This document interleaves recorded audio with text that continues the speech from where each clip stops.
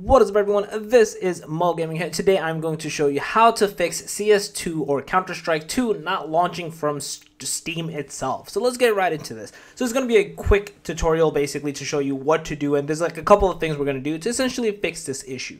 So the first thing you want to do is you want to right click into Counter-Strike in your Steam uh, thing and over here there's a few things we can do. The first one is we're going to go into properties and we're going to go into where it says I believe uh, installed file. Yeah, not an update. You obviously want to make sure the game is updated, but an install file. There's something over here called verify integrity of game files. This is kind of like a, a semi reinstall or rechecking of certain files off the game. It just makes sure everything is good to go, and it'll you can try this, press play, and see if this helps fix the launch for Counter Strike.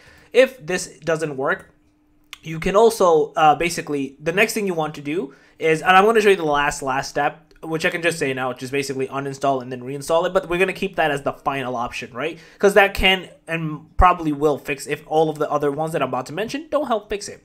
The next thing you want to do is you want to click into browse local file. Okay, once you're in here, we're basically want to go into bin, and in here we want to go into. Oh wait, sorry. First we want to actually go into CS:GO.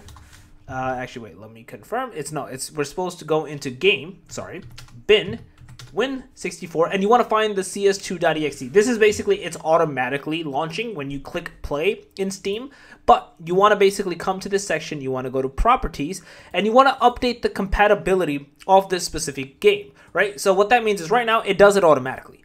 You want to change it to compatibility mode, and you want to play around with all the different ones. You want to do Windows Vista, Service Pack 1, 2, 7, 8. See whichever one of these works for you press apply, run it, and see if that fixes your issue. If this also does not work, the next thing you can do, I actually have it open so it's easier to find. You want to go to your PC, you want to go to your local disk.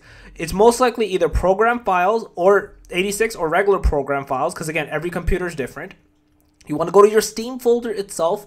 You want to go to user data. There's going to be a bunch of numbers in there, a folder with a bunch of numbers. You want to click into that one and you want to delete this 730 folder. It's meant, it's there's no purpose for it. You can delete it and then removing it is going to like delete the cache and local stuff. Doing that should like close it out, turn back Steam on, and then you should be good to go and not have this not launching error occur. Again, final option was uninstall and reinstall, and then just go from there. And obviously, always make sure you have the latest update as well, uh, if it's possible. Maybe you didn't have an update. So yeah, that's basically it. If you guys still have any comments, questions, concerns, let me know in the comment section below. I'm more than happy you guys up. If you guys ever like this video, please smash that like button. Guys, new to the channel, make sure to subscribe, click that notification button. And that, Moe Gaming out. Peace.